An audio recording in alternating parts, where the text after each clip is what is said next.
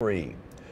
The Audubon Aquarium is reopening today after months of renovations, and if you haven't been there yet, it looks fantastic. We are very excited, and its new design allows you to check out two observatories in one building. Leah McNeil joins us live there now with a look inside, and she says it smells new.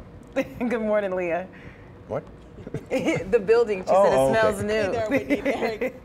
Good morning. Yes, you know, like when you get a new car, has that new car smell. The building has a new building smell. That's what I meant. Um, we are here at the Audubon Aquarium and Insectarium here inside their brand new $41 million facility. That's what went into making this whole thing happen. Once you come up the stairs, you end into the aquarium, you see these beautiful South American nettles jellyfish. They are so cool. I learned they actually don't have eyes and they feed themselves with their tentacles you see right there. Super, super cool. Once you see those, you can see the one of their newest exhibits, Down the Bayou. It features everything Louisiana, our food, give you a little hint into the culture, and of course, the food that we love to eat. Some crawfish are actually in there as well. Once you walk in, you see Chompatulus. He's the albino alligator in here. So a lot of cool things, a lot of fun stuff to see. Joining me now to give us a little bit more insight of what we have inside this section of Down the Bayou is Zach. Zach, I know you typically work with insects, but you know, you you know a little bit of everything here. So tell me, what is it like seeing, you know,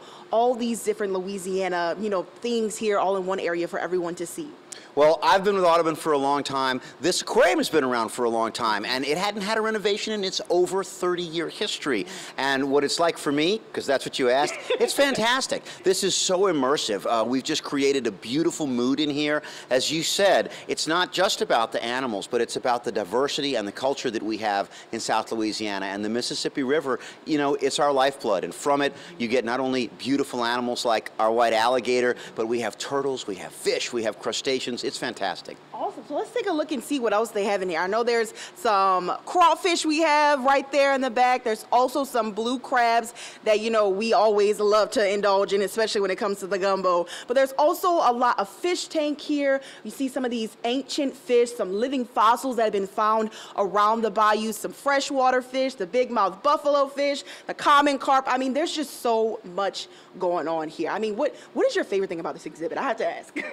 I love Chompatulus, uh, and and I have to correct you. He's not an albino because Okay. those animals have no pigment, and they have Ah. usually pink or red eyes. He's leucistic, which is a subtle but very interesting distinction. And the reason I love Chompatulus so much is that when the insectarium opened and he was this big, we had him on Oh, display at the other facility. Yeah, it was it was it was terrific. And so I've watched him grow up. I mean, we've had him since 2009 in our care. He's big, he's healthy, and it's just a great way to start a fantastical visit by seeing this almost mythical thing, a white alligator. Coming down the bayou, huh? Yeah, and, and as it turns out, mm-hmm. the last thing when you go down the bayou is another one of my favorites. When I started working with Audubon, I handled birds of prey, and, and we did we did presentations with barred owls, and we have a barred owl here too, and Oh. they're terrific. Yeah, they are super cool. I heard one of them hooting a little while ago. We'll bring y'all down there in the next hour, though. I'll bring you guys so much more throughout the rest of the show. Reporting live, Leah McNeil, Eyewitness News. And Leah, have you gone down by the Insectarium where Zach is the expert? It's beautiful down there.